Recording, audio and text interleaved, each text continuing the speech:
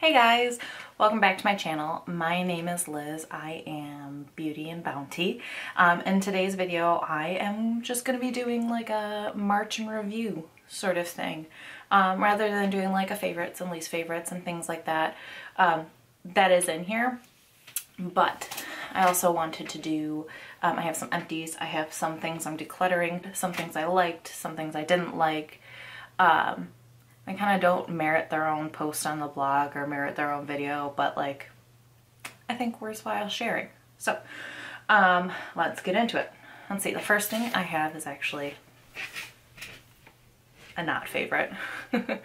it's uh, lashes in a box. These are the number 11 lashes. They're actually really cute. I like them a lot because they're not too long and the lashes are crisscrossed, but they are glued onto this box here. I find one right here with like literally the jaws of life and they're impossible to get off without damaging the lash.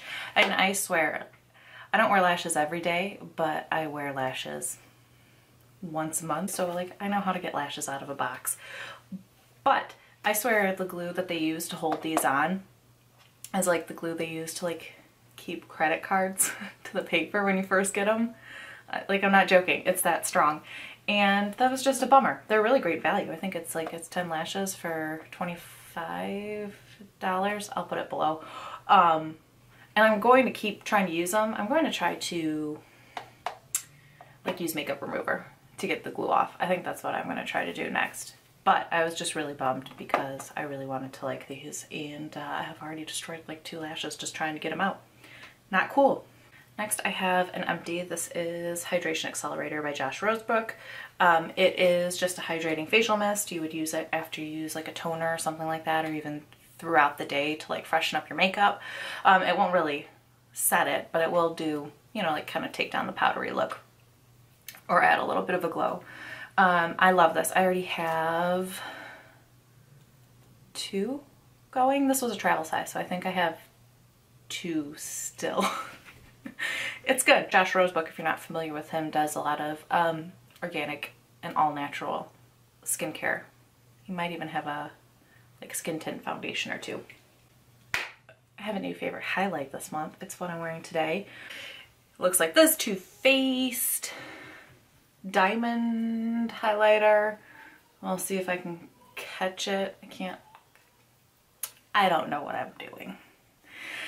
Um, anyway, when I first got it, it had super intense blue purple overspray and I was like, mm, you are going to have to go back home to Sephora. But then I kind of scrubbed it off a little bit. It's beautiful. It still does have like a blue purple shift, but it's really subtle and it has a really high shine and um, any pictures I take in it or any videos I've shot in it, I've just been like really, I keep sketching my highlighter and it looks good. So there is that. Let's move on to an empty. It is Olaplex number three. I think it's like a bond perfector. Um, I already have another one of these. I've been using this religiously every week for like a year. Um, I dye my hair. I've damaged my hair. We went on a bleaching journey. I'll leave a blog about it down below. Uh, but this is one of my staples because you know, a lot of things will say that they repair your hair, but like they don't really repair your hair. This one does. This one will go in and strengthen the bonds that you've weakened through um, processing your hair as we do. Yeah, so this guy's good. Let's go on to something I didn't like. This is the Butter London Double Decker Mascara. Um, and this is just garbage. I mean, Okay, so when I go through mascaras, I look for, when I go to mascaras, I look for definition and separation and then volume and lengthening in that order. Um, and this one has just like the biggest, gloopiest wand ever. And so like the bristles are really far apart and the formula is really thick. So like when you go to put it on, like you, you just end up with four maybe five spider webs just hanging out looking clumpy and it's not it's not cute for me. On that same note I have an empty and it is uh, my favorite mascara, um, L'Oreal Voluminous Feline Noir. Um, this is great uh, because it defines and separates and builds a little bit of volume, no length, but I don't really care about length. And it's just got a little plastic bristle brush. Um, it's fantastic. It's good times. It's good times. What? Um, let's go to a declutter. This is the Ordinary Organic uh, Rose Hip Seed Oil. And I really liked this, but I went to use it the other day. I've used half of it. Um, but I have a lot of shit. I have a lot of oils. and um, I'm not gonna smell it. I was gonna smell it, but I know what it smells like. It's turned. But I love Rose Hip Seed Oil because it has um, a natural form of vitamin A, which is retinol, so it kind of can help speed up cell turnover. It's a great oil for the face, and the Ordinary is very uh, cheap, reasonably priced. I think this was $6. And they're at Sephora now, I think. They're definitely a Beautylish, but I think they're at Sephora now. Um, okay. And let's go to declutter.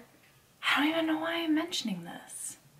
But um, it's the Hourglass um, Ambient Lighting Powder. This was the um, 2016 holiday palette. And like, I'm just, I'm ready to move on.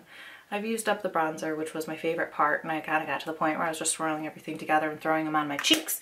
But I went through like reorganizing uh, my makeup and just kind of sifting through it, and um, I saw this and I was like, you know, you're two years old. I know if, if I loved him, I would keep him in heartbeat, but I don't really like him. Um, and it's just because the highlight's too gold for my skin tone. I get a racing strike. This setting powder is way too glittery.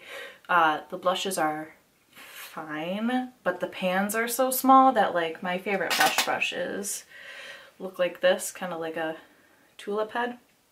So, you know, they're the side, so you have to mix them together anyway. Anyway, declutter. Oh, on that same night, going through and reorganizing stuff, I stumbled across my Melt Rust Stack. It's what I'm wearing on my eyes. I do have retrograde from the Desert Dust palette on my lids, but uh, the crease and everything else is all the Rust Stack. And like, it's just the perfect stack for me. Like this is great for setting my primer, doing uh, all over the lid. This is antique and it is perfect for transition color and I like that it's like a warm peachy. The star of the show for me though is Rubbish. Just like this great mustardy, dingy, mid-tone, yellow brown. Like it's just so ugly and yet so beautiful.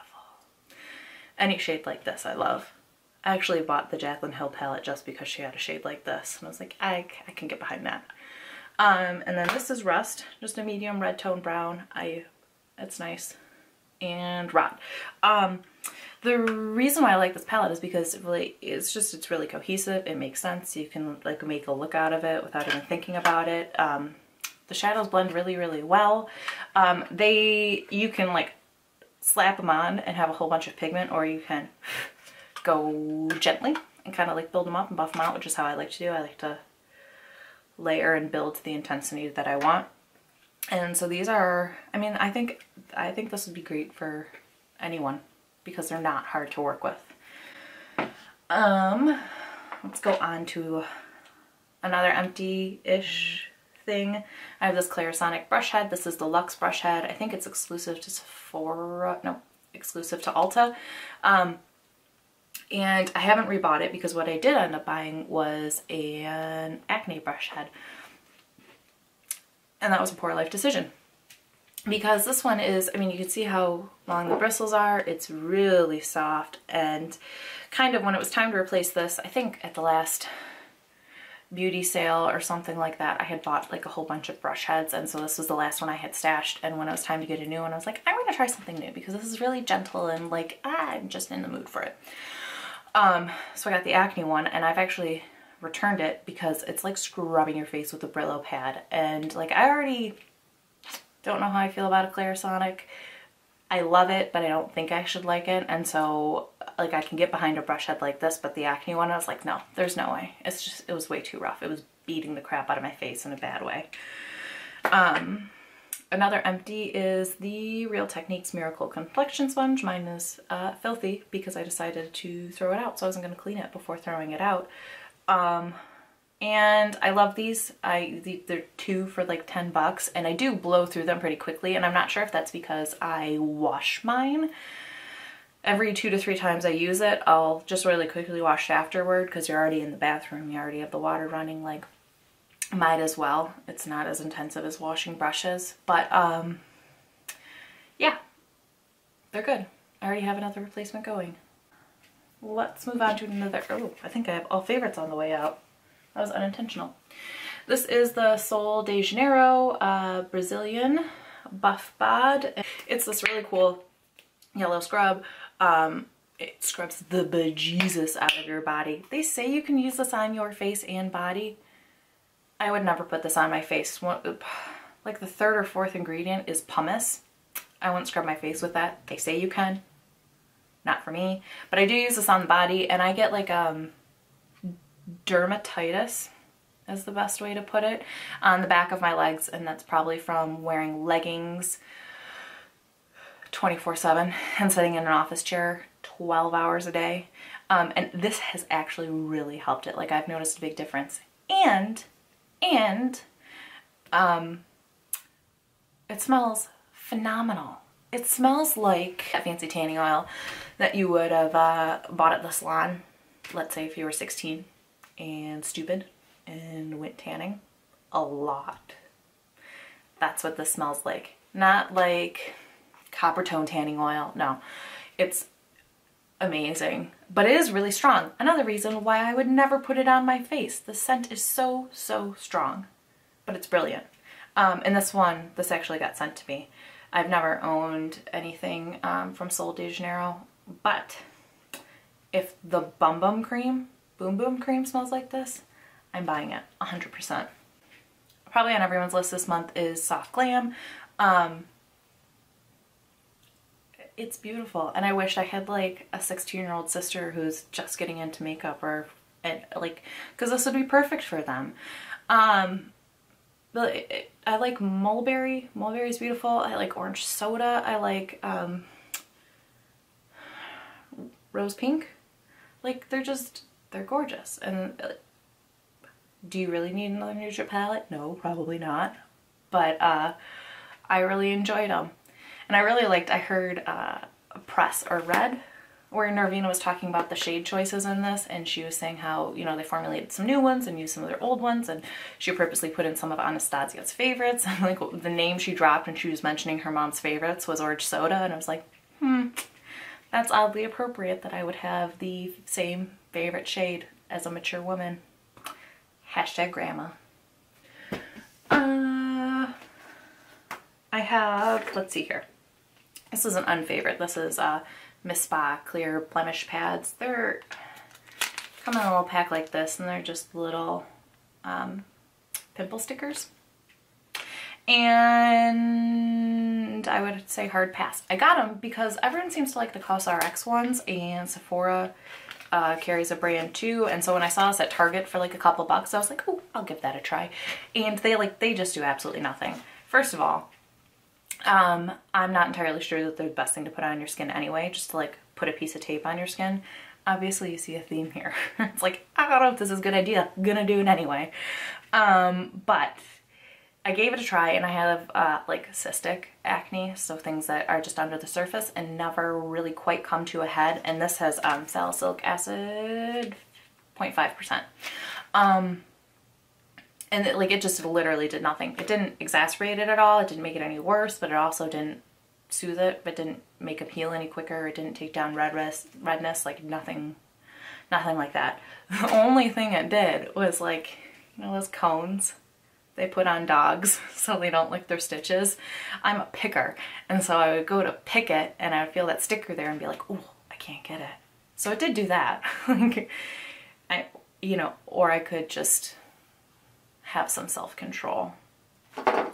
Um, so yeah, these are a miss for me. Um, another favorite is Juice Organics Volumizing Shampoo. They sent this to me and they sent me a conditioner and a hair mask.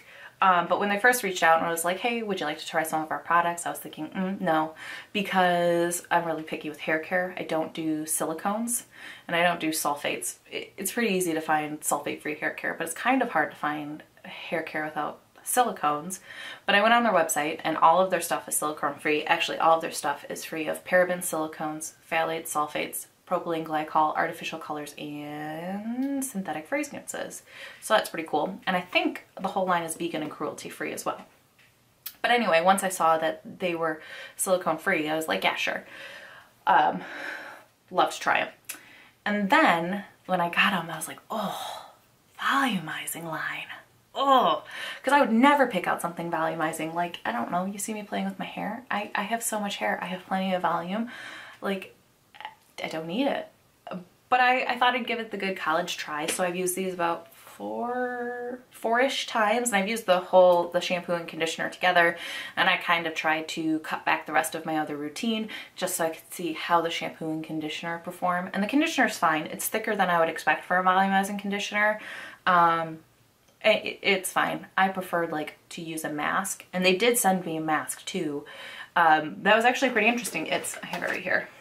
It's a repairing hair mask. And the thing that I think is kind of cool about this is that it has protein, but it's soy protein instead of keratin. But I haven't had a chance to try this yet. But the shampoo I ended up actually really loving.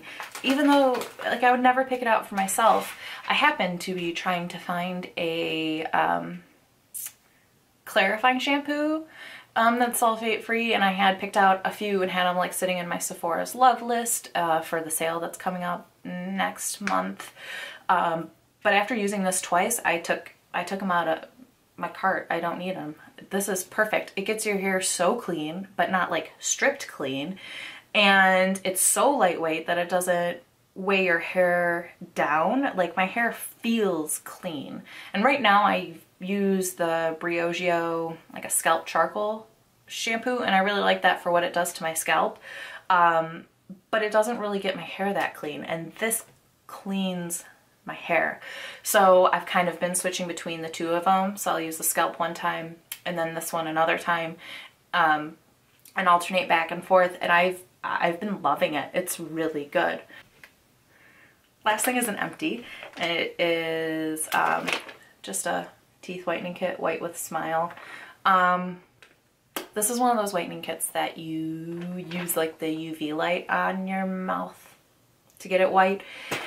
And part of me hates it because it's so obnoxious. Their marketing is so obnoxious. Like where it's like, it's a $200 kit, but use this code and get it for $30. And it's like, screw you, man. Just like, obviously it's not worth $200. I'm still gonna buy it, but obviously it's not worth it. Like make it 50 and say use this code and get 20% off. That's more reasonable.